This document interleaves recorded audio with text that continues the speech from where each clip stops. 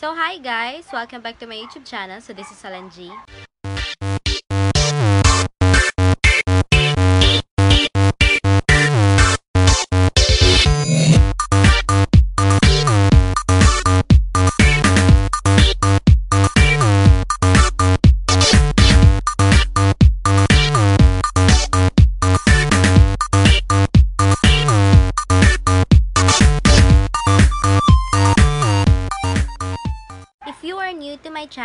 don't forget to hit the subscribe button.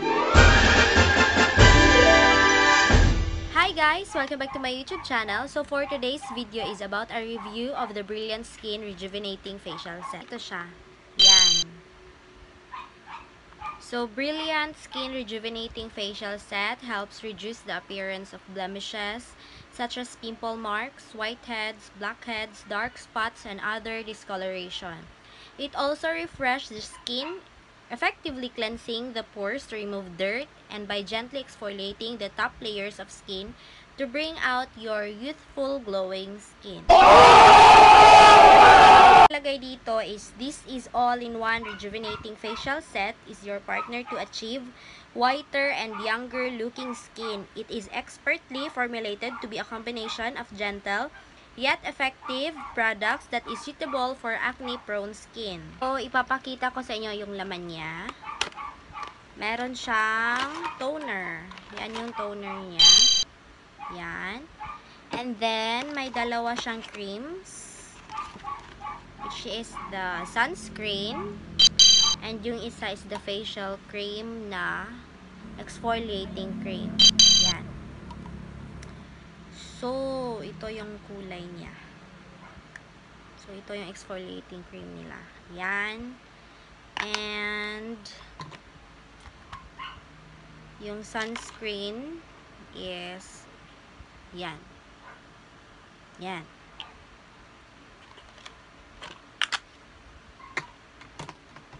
And, may soap din siya.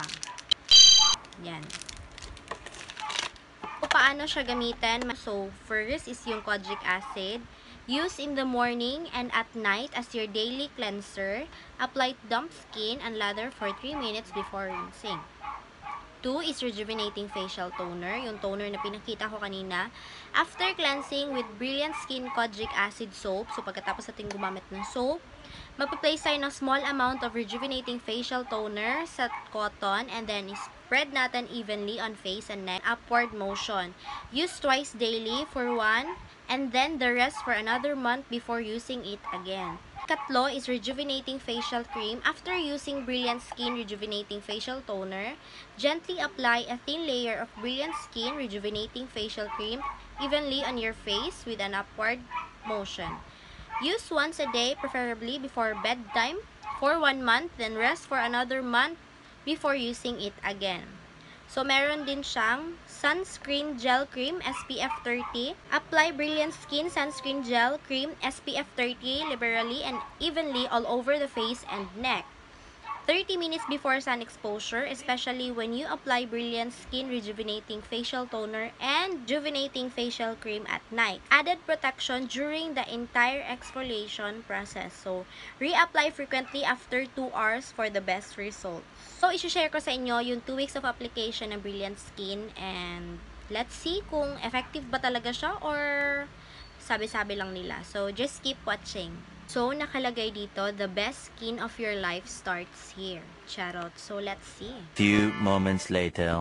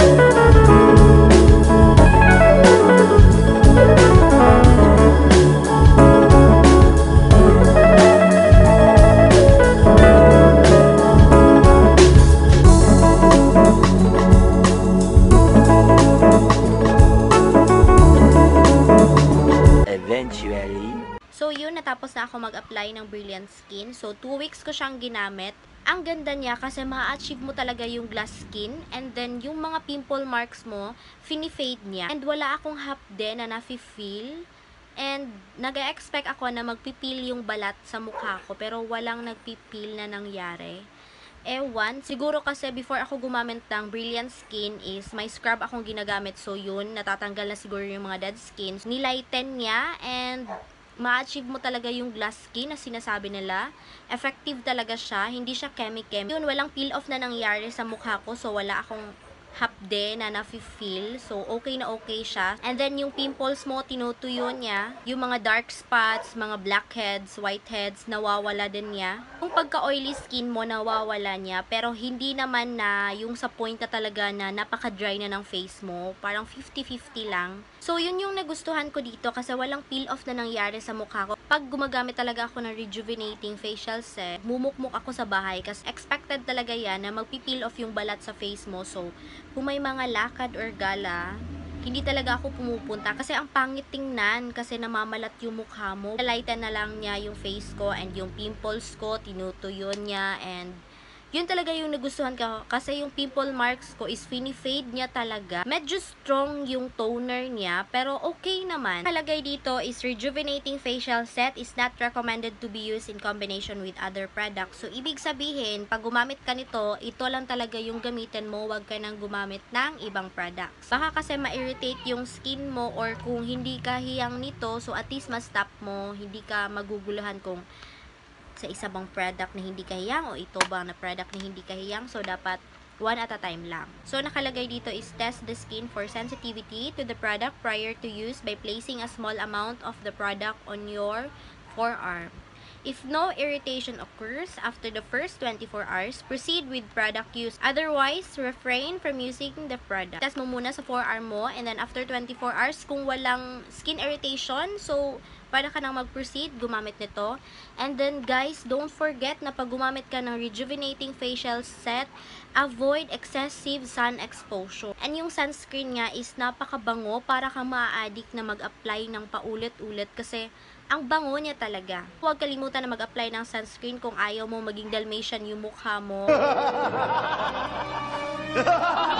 Kasi napakainit na talaga ngayon, so kailangan talaga gumamit tayo ng sunscreen, lalo na't gumagamit tayo ng rejuvenating facial set. So, nakalagay dito, pag gumamit ka nito, mag-rest ka ng 1 month, and then after 1 month, pwede ka nang gumamit ulit nito. Okay lang na mag-rest ka ng 1 month, and then gumamit ka naman nito.